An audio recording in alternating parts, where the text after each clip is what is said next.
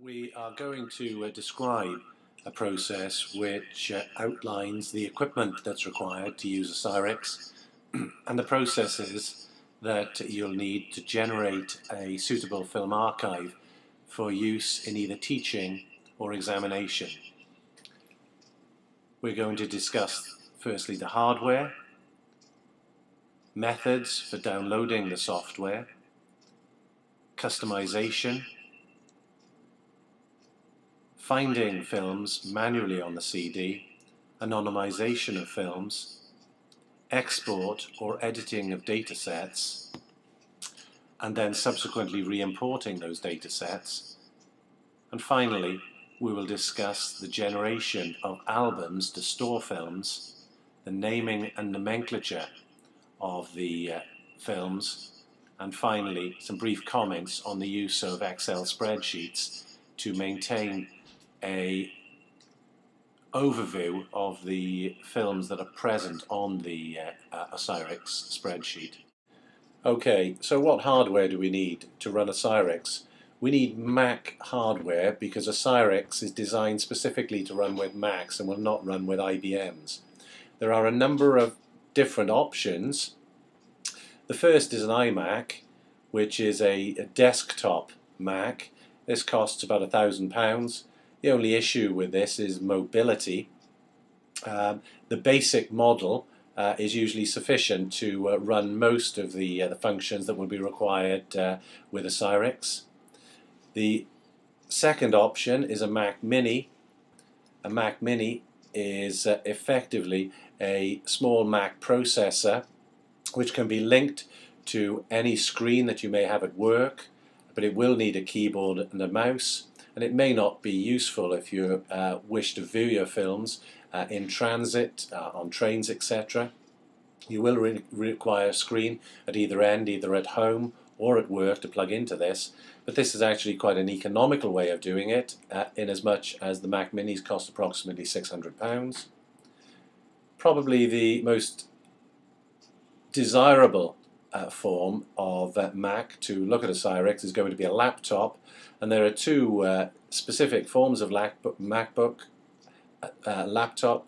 The MacBook, which is the basic form, costs approximately £850 and usually will be sufficient to undertake most of the tasks that you will, uh, will be required when using OsiriX. The slightly more powerful laptop is the PowerBook, which costs approximately £1,000.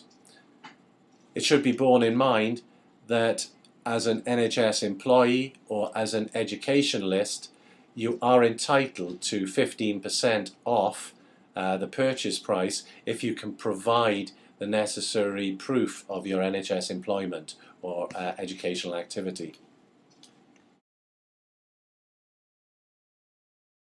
Uh, the first uh, area we're going to cover is downloading OsiriX. Uh, best place to start is on Google. Type in OsiriX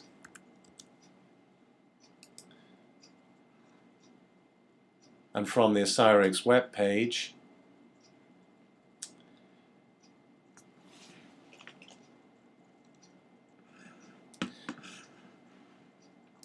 you move down and you can see that the new version is 3.8.1 the old version which most of the examiners or the uh, Royal College have is 3.7.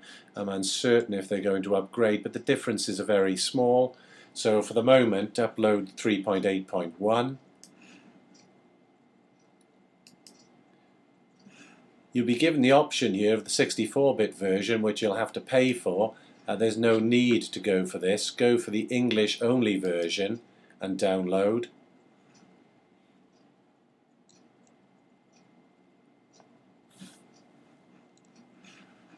Having downloaded the OsiriX software, you'll find it on the download page within the uh, desktop.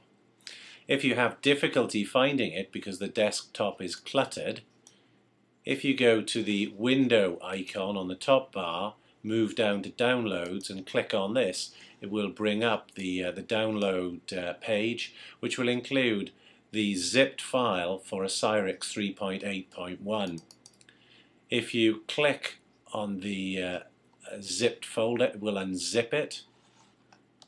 And if you then move across and click on the little yellow box, it will then give you the option of continuing to download the or install the software. Press continue. Continue again and agree and then install. You will usually uh, have to enter a password uh, on your uh, Mac whenever you install software. This is something that will you will have uh, entered into the system when you uh, first uh, started up. This is a sort of standard practice, so you just enter your normal operator password. And having done that, the installation should complete.